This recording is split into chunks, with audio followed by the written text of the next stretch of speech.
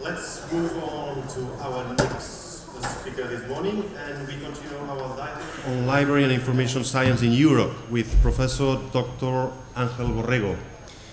Professor Borrego is senior lecturer in our Department of Library and Information Science at the University of Barcelona.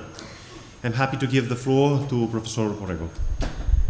Thank you, Luis. Uh, good morning. Well, um, one year ago, when we started preparing this seminar, I suggested that it might be a good idea to conduct a study in order to describe the current situation of LIS education in Europe. And I was um, foolish enough to volunteer to carry the study myself. Obviously, I wasn't aware of the trouble I was getting into.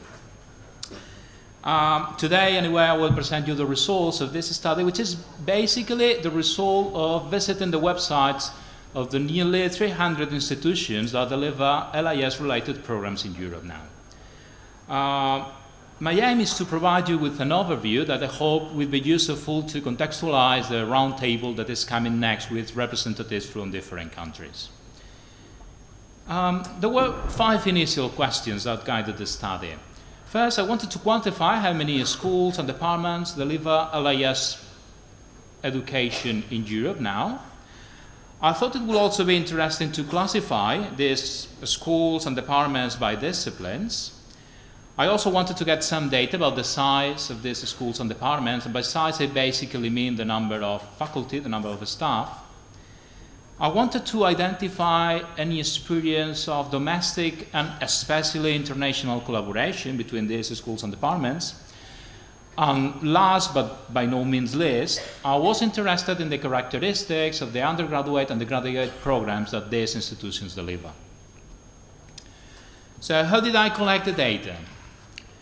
Uh, first, in order to identify the population of LIS uh, educational programs delivered in Europe, I used this guide that was published by IFLA, maybe some of you know it, uh, eight years ago in 2007. And then, based on the directory, I compile all the data by visiting the websites of 290 institutions that are included in the guide. To be honest, at first I considered sending a questionnaire to each of these schools or departments, but unfortunately I ran out of time. So this presentation aims to uh, give you an overview of the knowledge, but also the, the perceptions of the subjective impressions gathered by someone who surfs the internet, compiling information about LIS programs in Europe.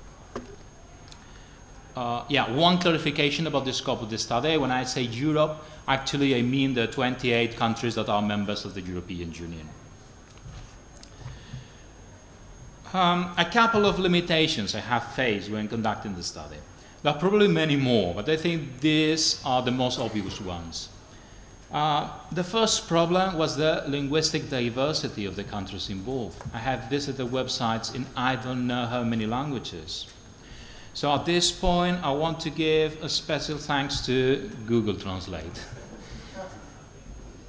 Uh, I mean, I can understand English and most Romance languages, Spanish obviously, Catalan, French, Italian, even Portuguese, but to be honest, I'm completely lost in Dutch, Czech, German, Greek, Hungarian, Swedish, Finnish, and so on. It is true that many schools and departments have uh, an English website, but usually this is not a full translation of the website, but just a brief description of the school or department.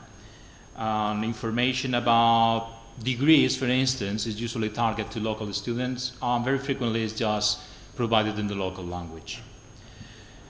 So as a result, it is possible that some of the examples that I have selected for this presentation are not the most appropriate for the point I want to make, or maybe I have jumped to wrong conclusions based on these examples. But I have chosen them because they are in English or they are in another language I can understand. But I would like to stress that this is a limitation of this study. At the end of the presentation, I will be happy to listen to your views, your comments, because obviously you know the situation in your countries much better than I do and po possibly you will be able to clear up any misunderstandings. Well, the second limitation is not really a limitation. It's a characteristic of the landscape I was trying to describe.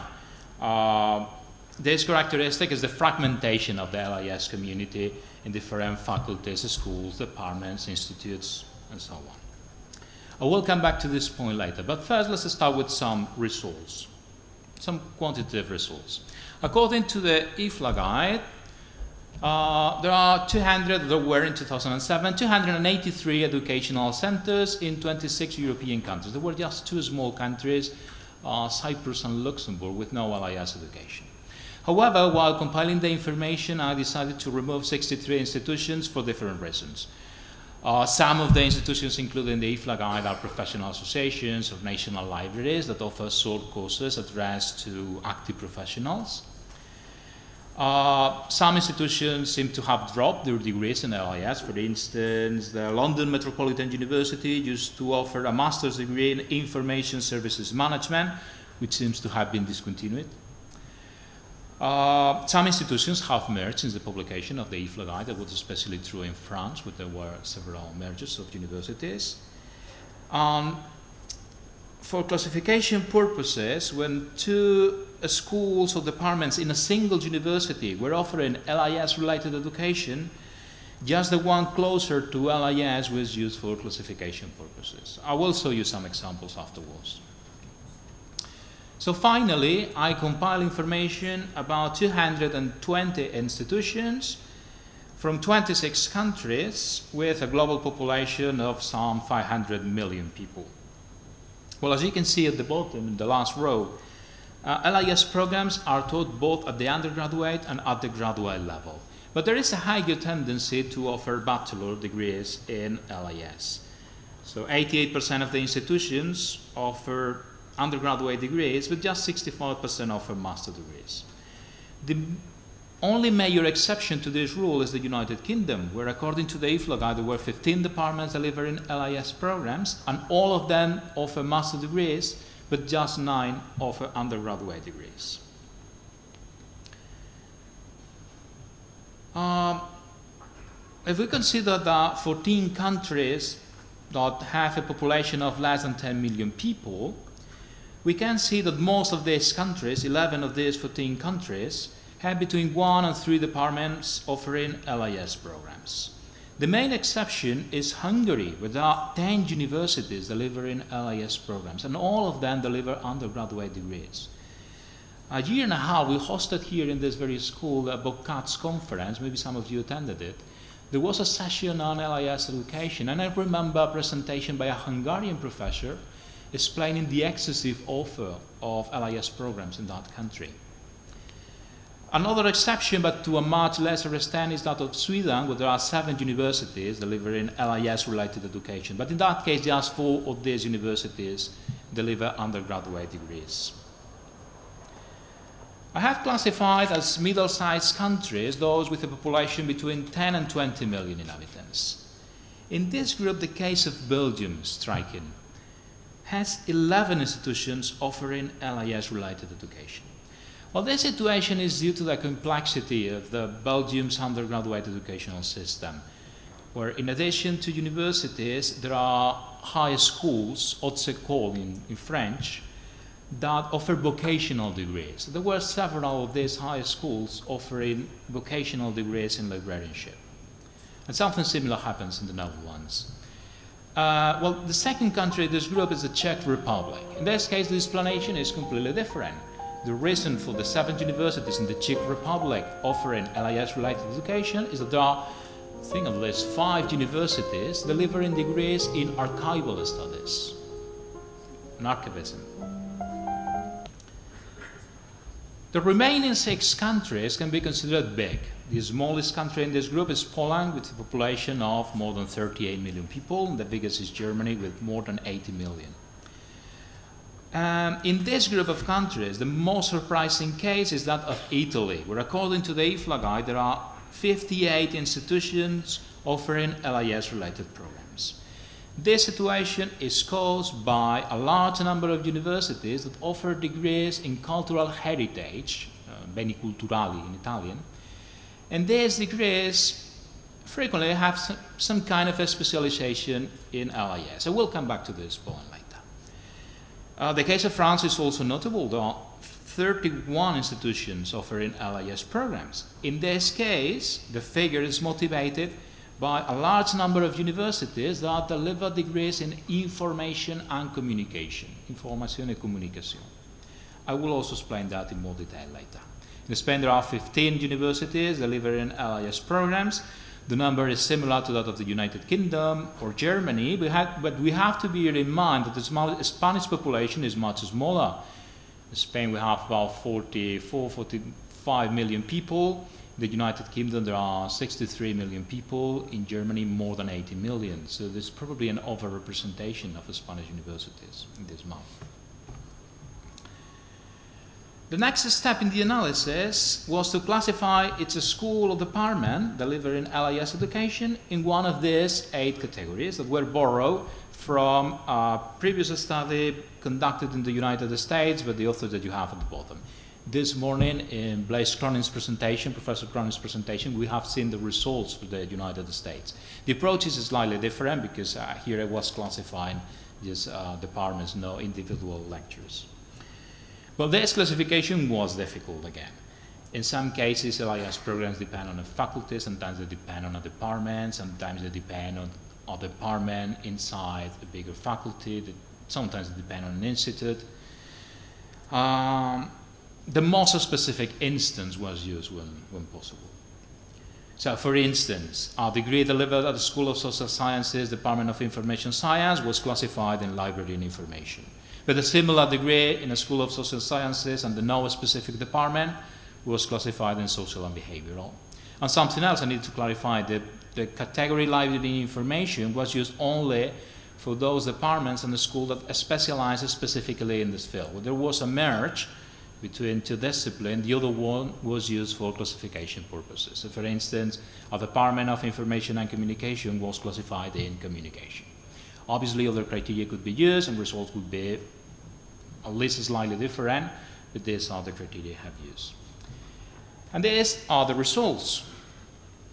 Well, as you can see, most LIS programs, about 32%, are delivered by schools or departments that can be classified under the heading humanities. Actually, this figure is misleading. I will explain why in a minute. About 88, 28% sorry, are classified in library and information, 15% in communication, 9% in computer science, and there are a few examples of schools and departments that can be classified in education, management and policy, science and engineering, social and behavioral. And the final non-category was used for very generic names, such as a School of Social Sciences and Humanities. Well, let's start with the case of schools or departments classified in humanities. For this part of the presentation, I will refer to undergraduate programs, and afterwards I will make some comment about postgraduate degrees. Um, as we have seen before, most LIS programs are delivered by schools or departments that can be classified in the field of humanities. But this figure, as I was saying before, is a little bit misleading.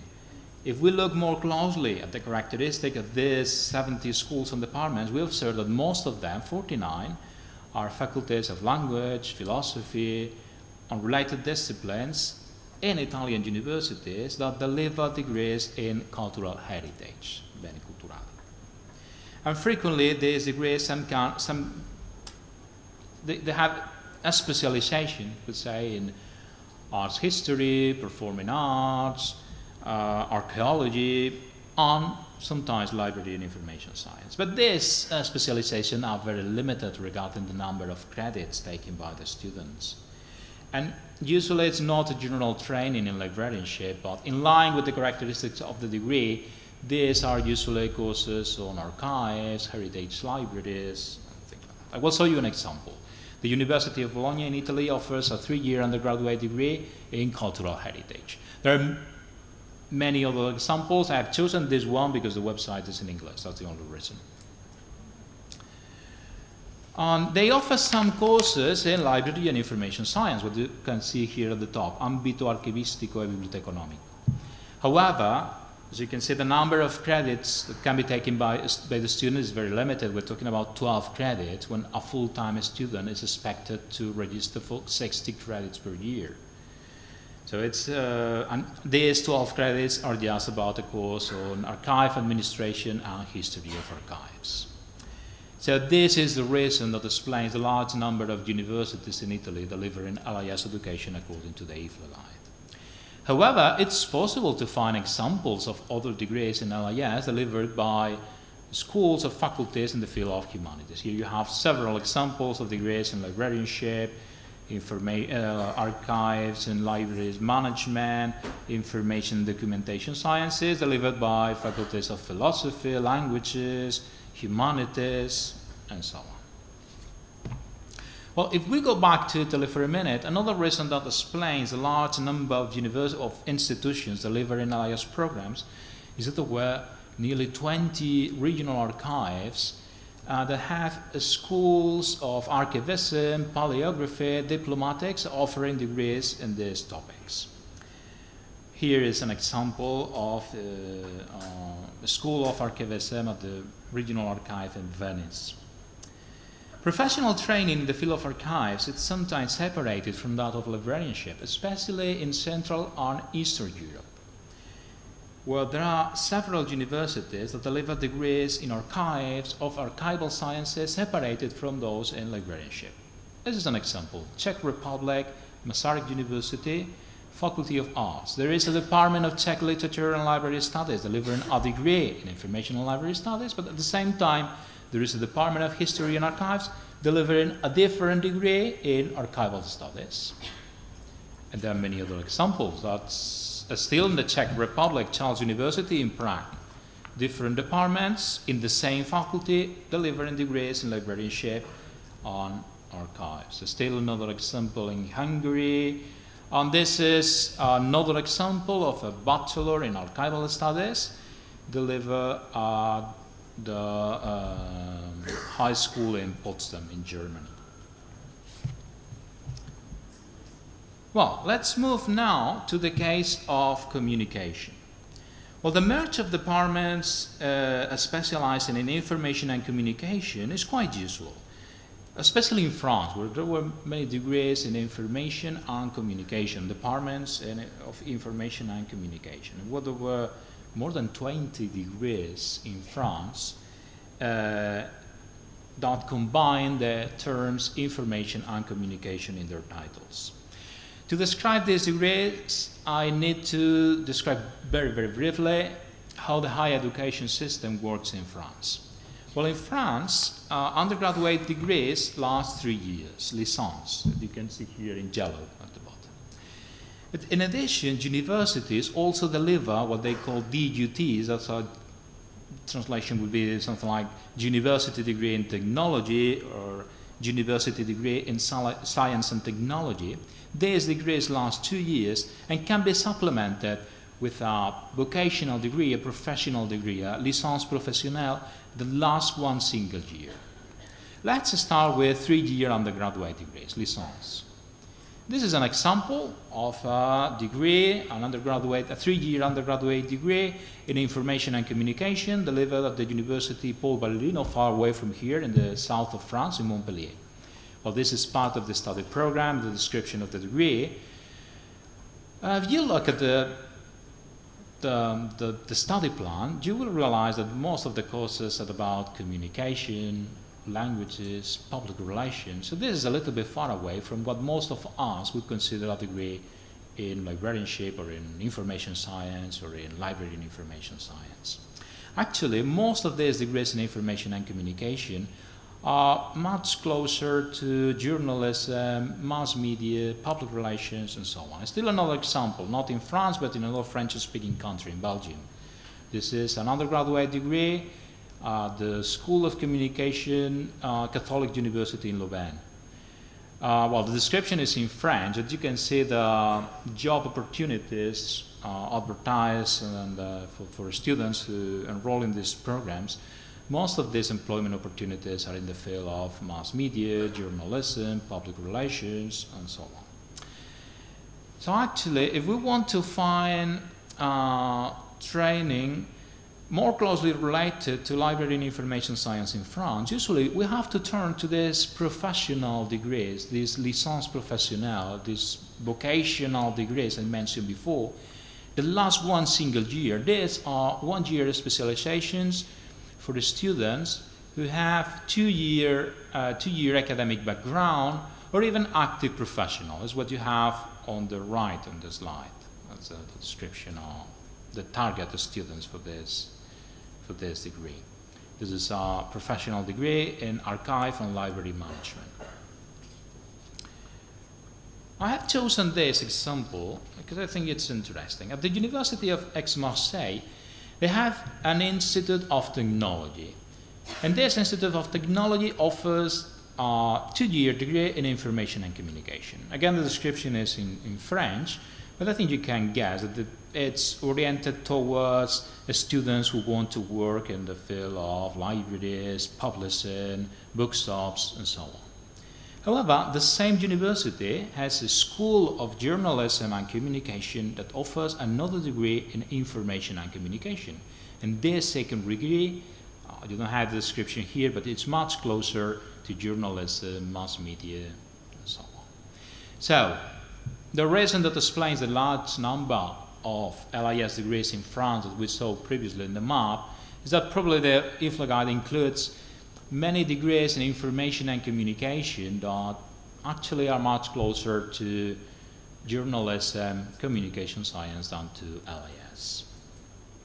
However, it's possible to find degrees that merge this topic. This is a degree in Austria, a degree, an undergraduate degree in information, media, and communication and they offer job opportunities, employment opportunities in information management, journalism and media, online businesses, and also library management, documentation management, and so on. Computer science. About 9% of the schools and departments could be classified in the field of computer science. It's also quite different from those we saw previously in that slide by Professor Cronin. Um, for instance, in Germany, uh, well, so far I have said some words in Italian and French, but don't worry because I do not intend to read this in German. Uh, according to Google Translate, that means something like Institute for Information Management and Language Technology. Uh, that's at the University of Hildesheim, but there were other examples in Düsseldorf, for instance, of this mm, very merge. But this is a word cloud they have on their website uh, displaying the teaching and research interests of this institute. You see that there is a mix of topics, useful topics in LIS, such as information seeking, information retrieval, open access, and other topics in language technology, machine translation, and so on. Uh, Hungary. In Hungary, there were many degrees that combine the terms informatics and library science. Here you have some examples. Institute of Informatics and Library Science, Information Technology Librarian, Informatics Librarian Program. To be honest, I think some of these names are a little bit misleading. Actually, for instance, if you read the description of the last program, Informatics Librarian Program, actually this program doesn't really, in my opinion, doesn't focus really on computer science.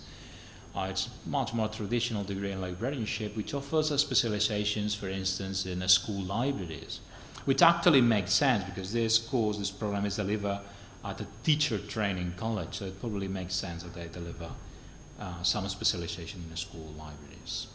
Uh, well, it's an interesting partnership at the University of Porto in Portugal, a degree in information management offered in partnership by a faculty of humanities, languages, and a faculty of engineering, offering together a joint degree. From a quantitative point of view, I think the closest relationship between uh, computer science and information science is found in the United Kingdom. Of the 15 departments that we identified in the United Kingdom through the IFLA guide, six of them use the term computing or computer in their names. Here you have the list. Well, finally, as I said before, there were really few examples of departments in a school that can be classified in education, management and policy, science and engineering, social and behavioral. Have chosen just one single example of a degree in information management that is delivered by the, the School or Institute of Statistics and Information Management at the Uni New University in Lisbon. This is an undergraduate degree that combines courses in business management, social sciences, computer sciences, mathematics and statistics. And the aim is to train students who are expected to work in information management in different business sectors. Uh, businesses such as uh, banking, insurances, telecom, health, and so on. Well, finally, I will discuss briefly uh, the main characteristics of some of the degrees delivered by schools and departments that are more closely related to the core of the discipline. I mean, those whose name refer exclusively to library and information There was 62 of these departments. Um, most of these departments offer what we could consider traditional degrees in librarianship and library and information science. It's one single example.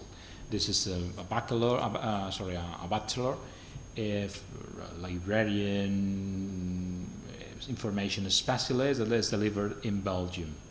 This is a traditional program in library science that uh, it's targeted to students who want to work in traditional roles, such as librarians, cataloger, and also in more innovative profiles, such as data scientists, uh, information architects, and so on.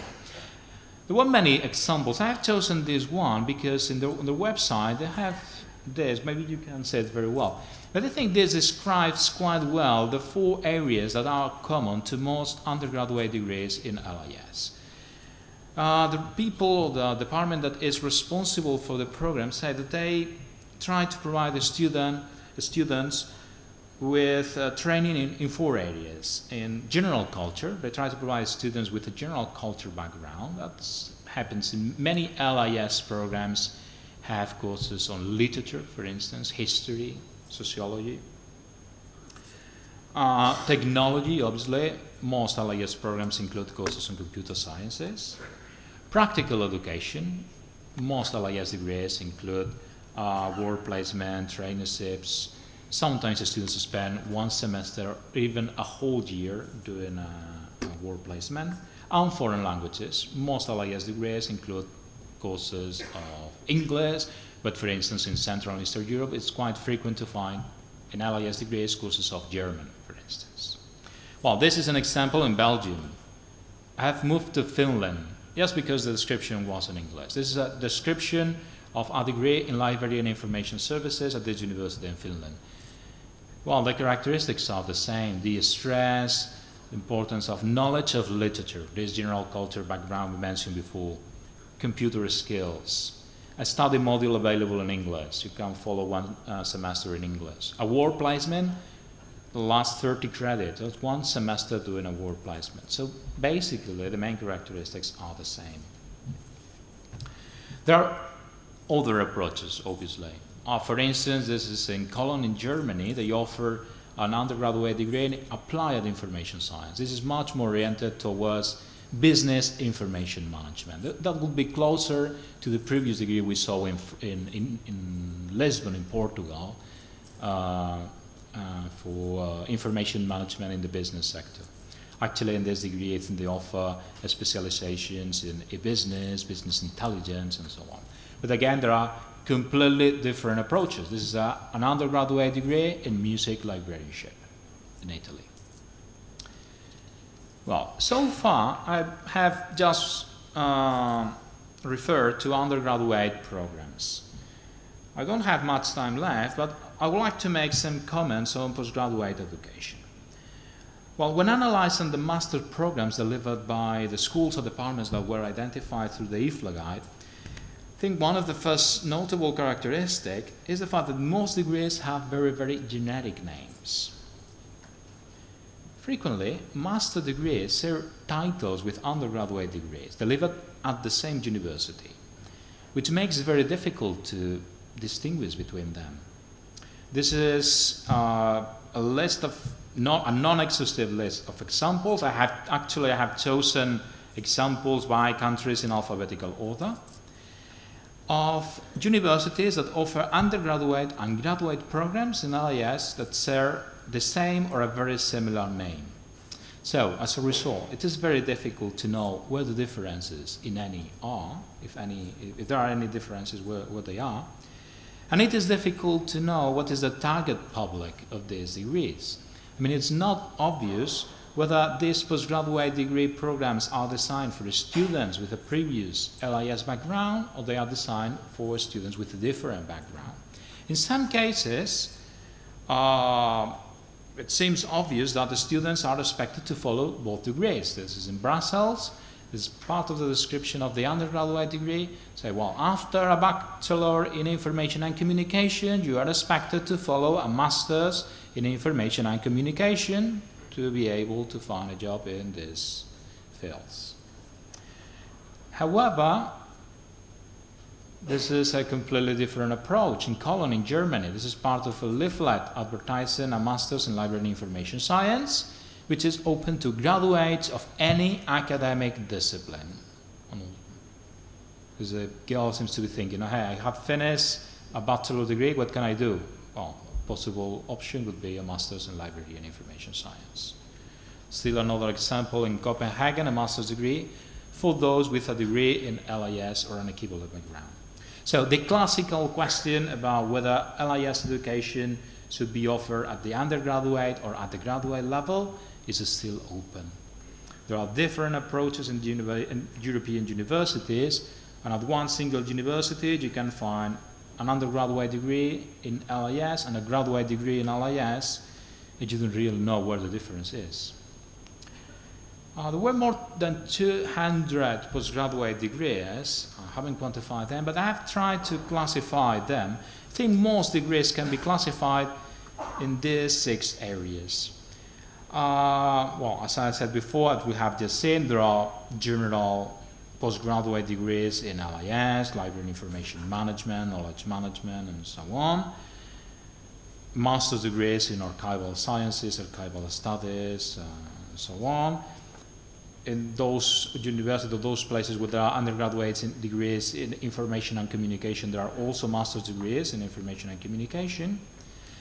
Then there is a certain number of degrees in the field of digital curation, digital libraries, uh, digital information, so on. Business information management, business information services, business intelligence. These are examples of master's names, master's titles. And finally, there is also a new line of master's degrees in big data, advanced analytics, data analytics, statistics and information management, data mining, and so on.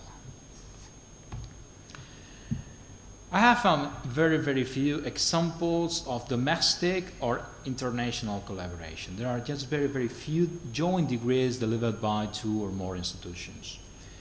At the national level, we have a Master of Archives, which is delivered by, in partnership by four Belgian universities. And here in Barcelona, in this school, we offer a couple of master degrees in partnership with other local universities. At the international level, we have a former Erasmus Mundus program, which is delivered in partnership by Tallinn University in Estonia and the University of Parma in Italy, and then the Berlin School of Library and Information Science also offers some degrees in partnership with Copenhagen and King's College in London. Well, still at the level of international collaboration, there are a couple of examples of summer schools uh, organized by European schools in partnership with American schools of LIS or information science. For instance, on the left you have uh, part of the brochure of uh, summer school, which is organized in partnership by the, the, the uh, LIS school in Copenhagen in partnership with the University of Washington in the US. And on the right, you have, well, this is from the website of the Charles University in Prague, with just last week finished uh, summer school they organized in partnership with the University of North Carolina. So some conclusions just to finish. My first conclusion was that there is no common European approach to LIS education. There are very, very, very completely different orientation, orientations of training depending on the country.